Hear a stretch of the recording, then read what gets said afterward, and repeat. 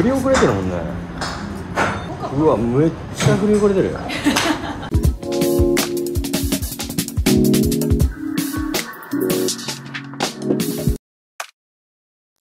い、えー、今回もですね、えー、朝から何なんですか？すいまなんかこういうの多いんですよ。せ ん急に。急に呼び出されるという。はい、泣きを見てるわけですね、はいもうもう限界を感じたので。で何 何が起こってるんですか？だって結構この前がっつりやったじゃないですかもう、はい。どう何ヶ月前？34ヶ月前？4ヶ月前ぐらい、またなんか起こってるわけですね。はい。はい。またずれてきました。わかりました。ということで 今日は 昨日あえて急に呼び出すね。ただの迷惑こっちも大変なんですからやりくりし。てということで朝の朝からですねえー、というのをしてきましたので、えー、ちょっと悩みを今日は何何の悩みですかなんかね玉が吹ける。老ける。あんま老けたところ見たことないけどね。この前ラウンドでめちゃくちゃ吹けてた。あそうなんだ。わかりました。じゃあちょっとそれを見てみましょう。はい、はい。チャンネル登録お願いします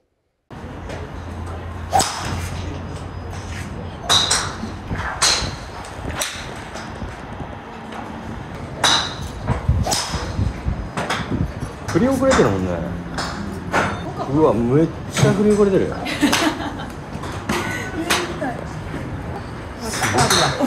わったこれ終わってるんじゃない？のこすごっ。の振り遅れの。僕もなん。か、あの北海道から送った写真ももうやばすぎ。なんかもう向こう向いてから打ってこれは結構ひどいねそれはねどっちも出るよね。そう多分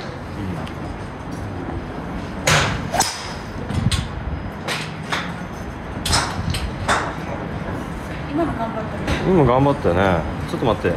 今の頑張り感でもう一回打って。うん。あ変わってない？全然変わってないでしょえ自分としては何を頑張ったの？えもうなんか腰山動かさずにここになんかグッてこう下ろしてくれるやつした。ああハイトップじゃん？うん。そしたらくのか。これもう完全に遅れてるじゃん。うん。切り替えようかな。どう思う右膝体は関係ない嘘マジでえクラブクラブの動きがまだ悪いだってさ基本的にさみ水木さんのさあのパターンって自分が調子悪いパターンってどういうパターンなの？覚えてる了解振り遅れだけどその原因は何だ？重心が外れてる。そう重心が外れてるということ？とでだって前はこうやって上げてたのに直したでしょ？うん。重心の管理はあったけど結局そこで重心を管理したのは何をしていたか覚えてる？あれ何したかってでメンターあのメンターでやったじゃないはいその時重心管理したけど、はいその重心管理するっていう意味は何だったいわゆるさその重心を管理しながらちゃんとエネルギーを作り上げるってことあだか。らちゃんとそのエネルギーを初期エネルギーをきちんと作っていくってこともテーマになってる覚えてるあそこか そこでも抜けてたんですね多分そうでちょっとあの食エネルギーを作り出すことを、えーやってもらいたいんだけどちょっと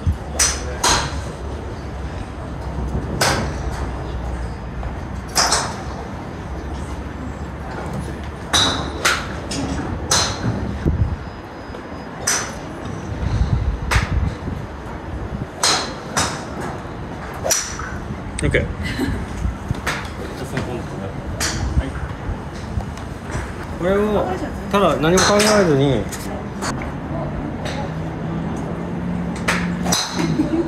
はい。うん。合わせずにもっと振ってってもらいたいです OK これさ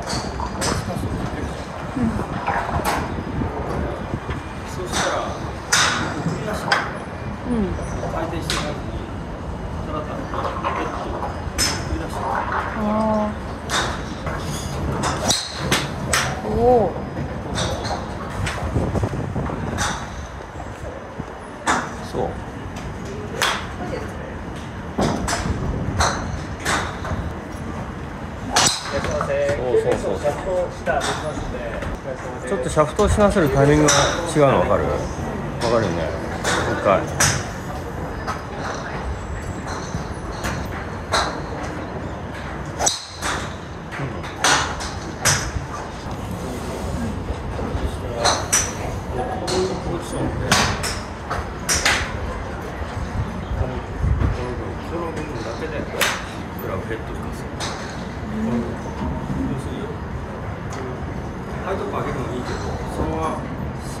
understand.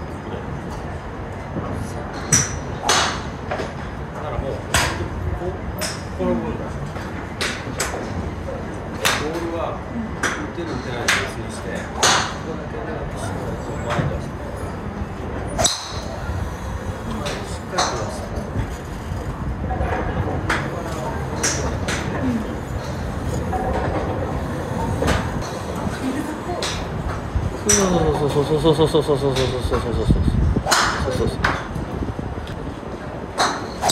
そうそうそうそうそうそうそうそうそう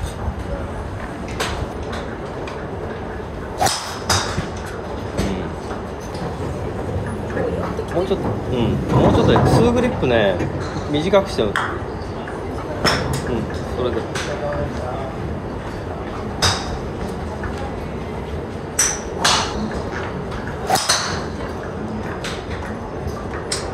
なるほど。今何をやってるんですか？今今ね要要はベストの時の彼女の基本的なそのゴルフゴルフクラブの使い方でやっぱり基本的に体幹がついていってないんですよ。つまりはトレーニング不足ということなんですけどこれはもうこれはしょうがないのでうまいところを見つけようと思っていろいろやってもらってるんですよそしたらできるだけ初期エネルギーを持って出してクラブを遠くで処理するようにしないと今やっぱり持ち上げて上に上がっちゃってるのでクラブは基本近いんですよ。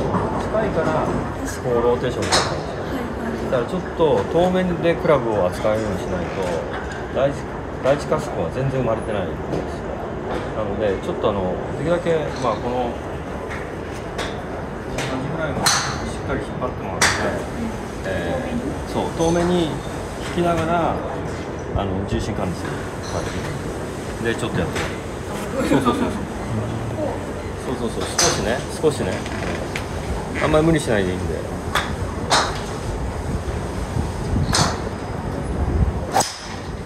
OK 変わらん？でさ多くてさすごい遅れてってるけどもうその足が踏めてないじゃん。うん踏めてもないじゃん。だからヘッド生かしてるって感じじゃんうん。右足の問題というよりはやっぱりエネルギーが前に出ていかないんだよ。だからさっきの一番良かったのはさっきのほらこれがさあんまり触れてないじゃん。うん。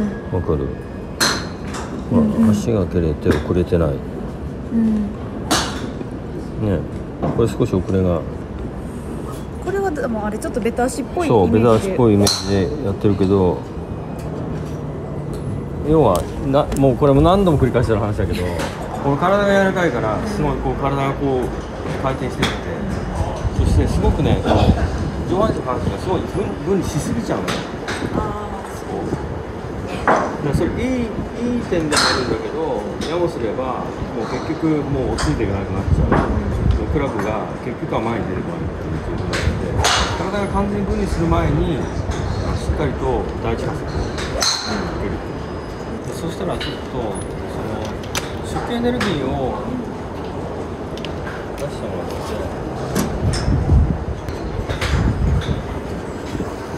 ここまでここまで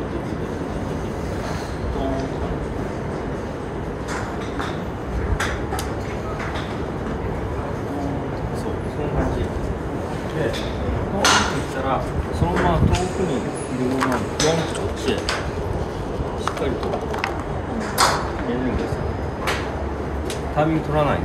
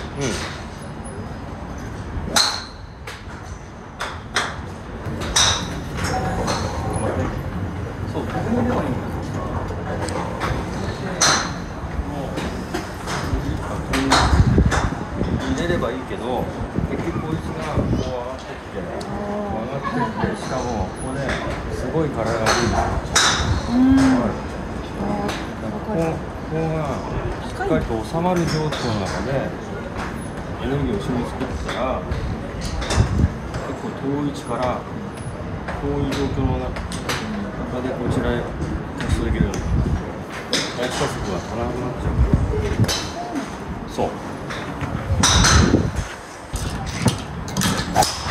そうそうそうそうそうそうそう。これ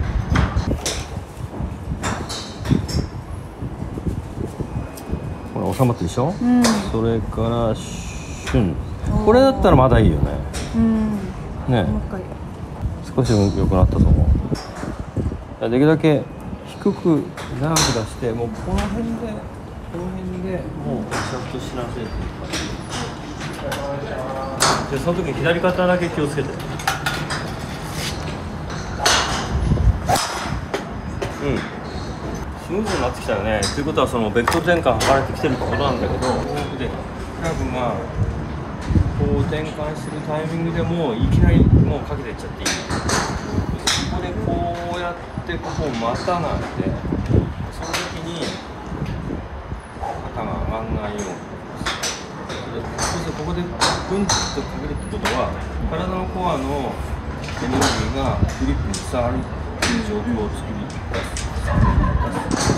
それでお腹を少し揺らしながらこうグリップを最低限あの動きを最低限にしてここをすごく大きく揺らすこと？ができるいやそれができないと？ダメだよ下手なんだ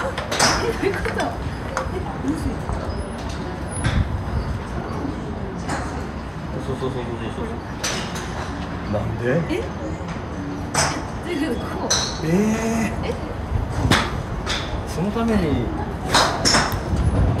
どうぞうわすごい。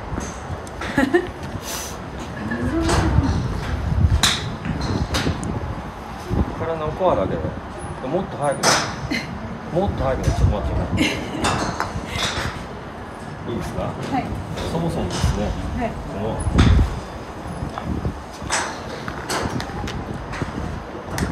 こから、コアのそのエネルギーがグリップに伝わってないっていうのは当然あある。でググリップがコアの力がグリップに伝わってるっていう姿はグリップ全然動かない。じゃんどんどんどんどん前に。出るだからこのままちょっとごめん。ねこのままおおそれがみずちゃんはこうじゃなくてこうなっちゃうああ確かにそう。こう遠く。低く。遠く低く。ここはでここはこうエネル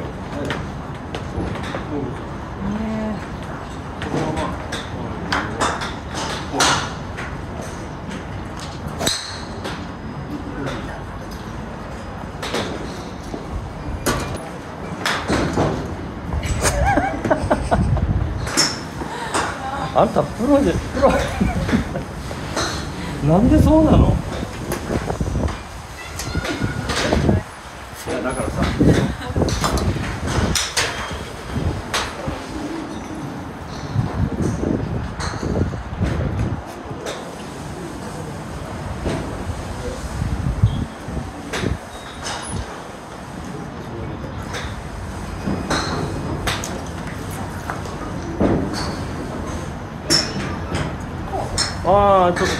近いな。下手だけど近い。オッケー。いいよ。それで。オッケー。それでいこう。そう。結構いってる。ほら。わかる？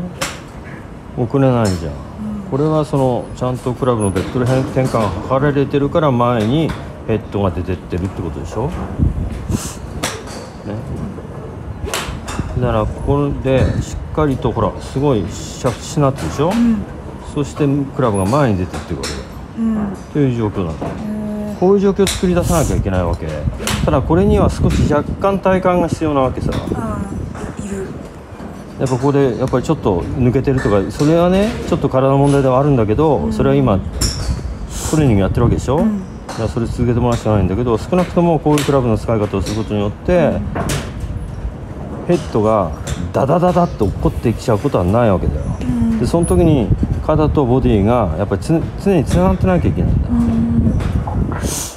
ッケーこのまま行きましょう。そ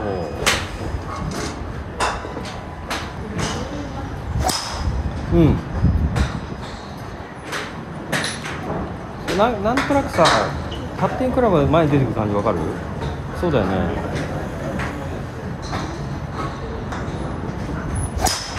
うん少し良くなったね。そうだね。うん。ああいいじゃん。いいじゃんほら体のサイドは結構いろいろとあるよ。ただクラブエネルギーは良くなったよね。うん。うん、そう明らかに、ん。アイアンもじゃあちょっとそんな感じで。ちょっと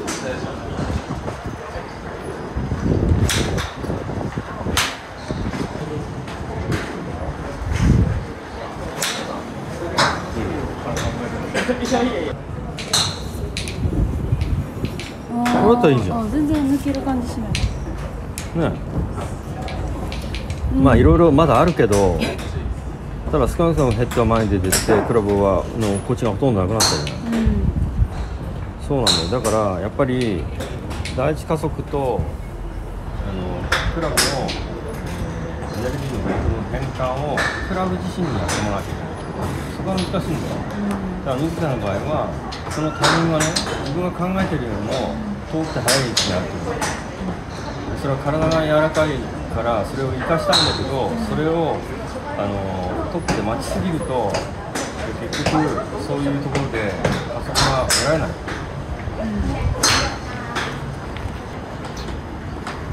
チャンネル登録お願いします。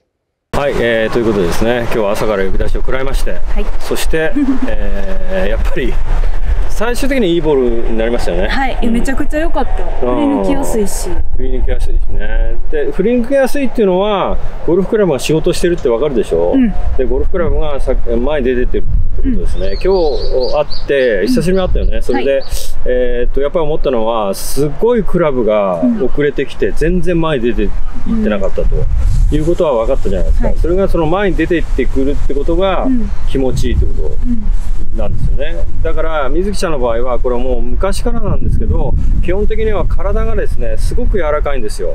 あの X ファクターっていうあののを測れるんですけどそれがあの確か70以上うん。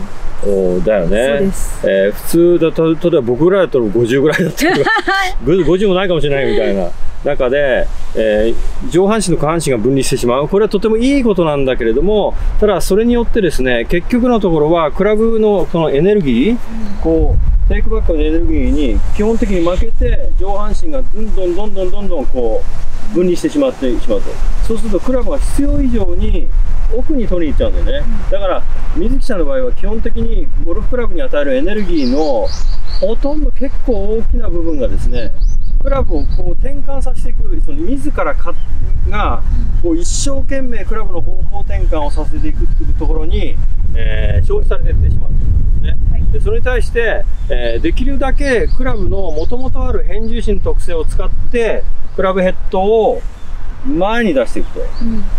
これその縦にエネルギーベクトルを直線要するにフォースとともに出せばこうやってクラブは勝手に前に出ていくのででそれを今日は作ってもらったわけです、でその時にその作るタイミングがやっぱりちょっと違ったでしょ、うん全然違う。ねでどんな感じでした？なんかもうチャチャって感じ。あ、縮って感じ。そう、それはそうだと思います。うん。だから、水ちゃんの場合は、基本ハイトップを取りに行くんで、これは、まあ、以前もそうだし、まあ、今年のプロテストどうされるかわからないけど、そのハイトップを作りに行く、うん。過程の中で、えーやはり結構その切り返しのタイミングっていうのは割と遅めうん。なんですよ。でそれを今わざと、まあえーエネルギーベクトルしっかりと後方に出してもらって結構多分水木さんの感覚としてはもうこの辺で繰り返してる感じ。えあそう。でも実際それを外観であの iPhone で撮ると全然そうになってないんだけどそう。実際はそのここで繰り返していく時に、うん。クラブが転換していくいってる最中にしっかりとこういうキャスティングモーションを出す、エネルギーを出していくんですね。そうすると結構クラブがしっかりと前に出てくることなんですよ。だから極端に言えばこういう状況をこうやってあっさりとクラブが前に出てってっていう状況を作り出したっていうことなので、はい。まああのそこはあの結構、えー練習で作っていってもらうしかないんですよね、はい。ただそういうそのスイングを作っていくときに大切なのはやはり体幹の力、要するにその間に、えー自分のお体がバランスを取るわけなんで、はい。そこのバランスを取るところにに対して、うん。えーしっかりとその体をキープできるようなやっぱ体幹がなきゃいけないんで、そこはちょっとね、ぜひあのこのままあの鍛えていただいて、はい。えー作っていっていただきたいと思います。これ2年前にプロセスちょっと僕がね、うん。かからせていただいた時っていうのはもうクラブの扱い方についてはだいぶ早期に終わって、うん。もうもうあとは体幹作りでいったじゃないですか。はい。でそのようなあの流れをお思い出していただいて、うん。えー引き続きあのやっていただきたいと思います。チャンネル登録お願いしますなので、えー一応今日ですねお伝えしたのは基本このゴルフクラブの食エネルギーをやはり大切にしてもらうということ。ごえー水木さんご本人の感覚よりはかなり低くて遠いうちに実はこの間にですねクラブってですねやっぱりプロですから基本的にはクラブがですね重心管理をしてこうしっかりと背中側に回っていくんですよね。その間に割と早めにですね切り返してしまうというこの縦エネエネルギーを出せばクラブは勝手に横転換していくというこの横転換のベクトル転換をあのーやっぱりその、えーゴルフクラブの勝手にこう横転換していくというところをですねエネルギーで作っていただくということはですねやっぱりちょっと慣れてもらわなきゃいけない。ので、そこはぜひあの練習していただきたいと思います。はい。はい、えーということはですね、今日はですね、いきなり呼び出しをまた食らいまして、はい。ということで、動画をご覧いただきましてありがとうございます。よチャンネル登録と高評価お願いします。ろしくお願いします。タスクゴルフではゴルフサイエンスジェイコブ 3D について公式 LINE で情報発信をしています。ぜひ登録よろしくお願いします。